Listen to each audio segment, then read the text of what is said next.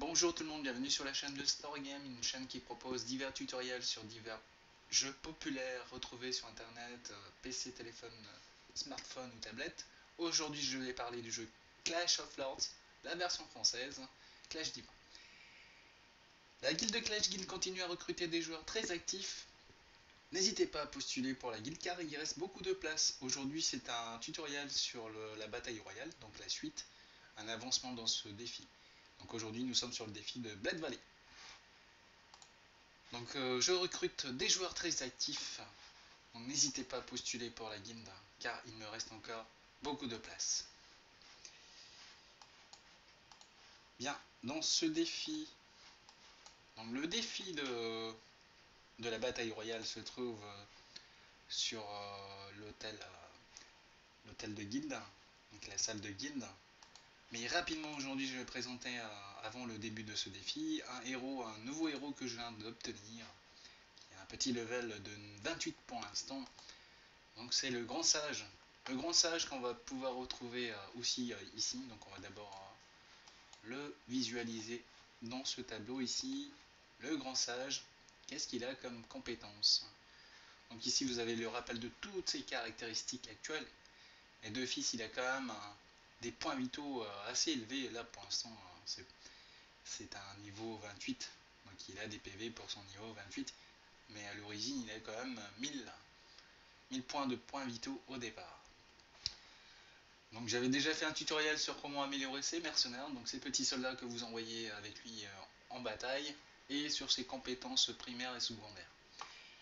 Nous allons revenir de suite sur la partie descriptive de ce héros où il se trouve. C'est un héros de la catégorie des héros d'épique. Donc le grand sage, il est ici. Donc comme tout le monde le voit, euh, les caractéristiques de ce héros sont présentes et une évolution possible aussi. Bien. De suite, nous allons partir dans la bataille royale présente dans l'hôtel de Guilde. Et nous allons partir dans ce module. Donc on a réussi à passer la frontière d'Aube. Maintenant, nous allons tenter de réussir à passer Blade Valley. Donc pour ça, il suffit juste d'avoir beaucoup de membres euh, inscrits dans la guilde et que tous ces membres actifs participent à ce défi. Donc sachez que les récompenses sont quand même pas mal. Beaucoup de récompenses à réclamer à l'issue de ce challenge. Donc voici euh, déjà la, présentation euh, du module. Donc il y en a un déjà qui a été battu. Félicitations à l'équipe de la guilde de Clash Guild. Nous allons commencer ce défi maintenant. Donc sachez que vous êtes limité en chance, en nombre de chances. Par jour, vous avez droit à deux, essais par jour, ce qui est très peu. Donc euh, voilà, plus la guilde est nombreuse, plus nous passons rapidement les, euh, euh, les défis dans la bataille royale. Donc toujours pareil, j'ai toujours un problème de matériel et de réseau euh, à bas débit euh, pour ce, pour ce tutoriel. Je sais que très prochainement, euh, je compte améliorer mon matériel et surtout changer d'opérateur réseau. Donc l'objectif, je, je, le rappelle, c'était de passer ce défi donc au mille boss ici dans la tour et un deuxième ici donc au total, vous avez deux boss à détruire. D'un petit level et un autre. Donc j'avais déjà montré comment euh, activer euh, les talents primaires, les compétences de vos héros. Donc ici vous avez une barre de niveau. Lorsque la barre de niveau a atteint le seuil indiqué par la carte ici en bas, vous pouvez activer euh, la magie de ce héros. Donc il me reste quand même pas mal de PV à détruire à ces deux boss. Donc l'essentiel c'est que toute l'équipe de la guilde de Clash Guild y participe. Donc c'est euh, plus nous sommes nombreux dans ce défi, plus euh, l'addition et la somme des dégâts faits par la totalité des membres de la guilde sera importante et donc nous allons pouvoir le passer assez rapidement ce défi. Donc je manque vraiment encore beaucoup de puissance. Pour l'instant, le grand sage n'est pas dans cette team. Donc euh, j'attends qu'il passe le niveau 40 avant de l'intégrer dans ce, dans, ce dans, dans cette team en fait, pour tous mes défis. je rappelle à tout le monde que le jeu Clash of Lords en version française c'est Clash Divin et que vous êtes sur le tutoriel de la bataille royale mais dans le défi Blade Valley. Donc avec GameGeek. N'hésitez pas à postuler des commentaires sur la chaîne de Stargame. Tout simplement en recherchant la chaîne par, par l'intitulé d'une vidéo Stargame by GameGeek. Vous allez tomber directement sur la chaîne de Stargame. N'hésitez pas à partager aussi hein, les vidéos qui, y sont présentes donc euh, dans une playlist euh, vraiment dédiée à un type de jeu. N'hésitez pas à, laisser aussi vos commentaires sur euh, bah, des avis pour améliorer la, qualité de mes vidéos. sauf que matériellement, j'ai quand même des petits problèmes de limite. Donc c'est pas mal. Au fur et à mesure où on avance et que tout le monde participe à ce défi, vous voyez, on a quand même bien réduit déjà les dégâts. Les points vitaux de ces boss. Pardon. Et continuer. Donc, euh, fin chance.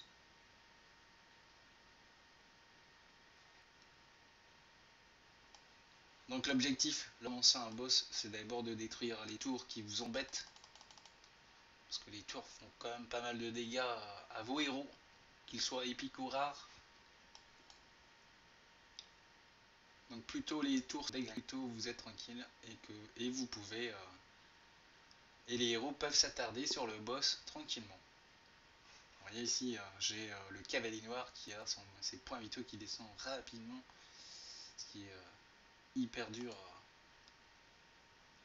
lorsqu'on a des petits niveaux pour ces héros. Voilà, vous avez vu euh, toutes les tours là qui continuent à déglinguer. Euh. J'ai commencé mon attaque trop tôt là-haut, j'aurais dû en placer ici quelques-uns. Et là j'ai Saphirix qui descend. Là c'est un échec pour cette deuxième partie. Je vais faire moins de dégâts que prévu, que tout à l'heure. Donc là je ne peux plus... Euh, je vais activer le talent du bombardier éclair, qui envoie des boulets de canon assez puissants.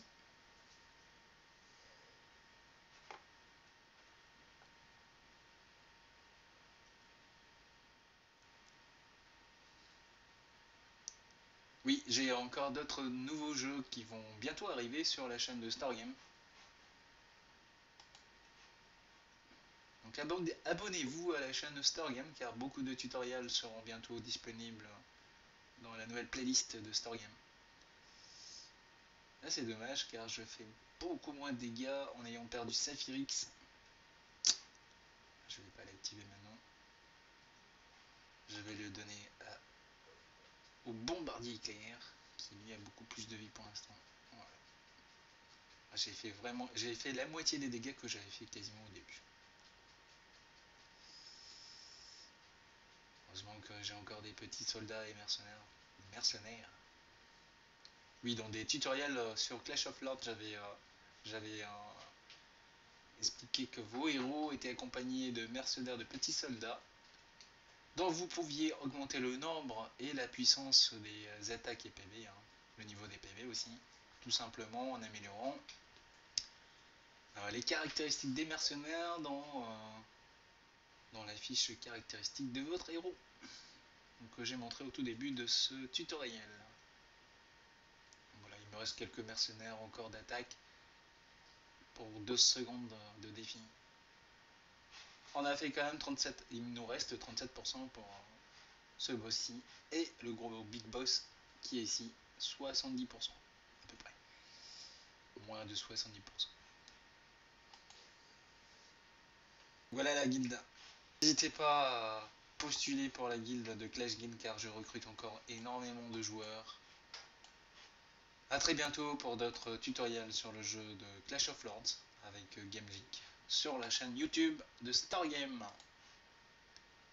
Je rappelle aussi à toutes les guildes que GameGeek a sa page Facebook euh, présente euh, sur Facebook intitulée GameGeek.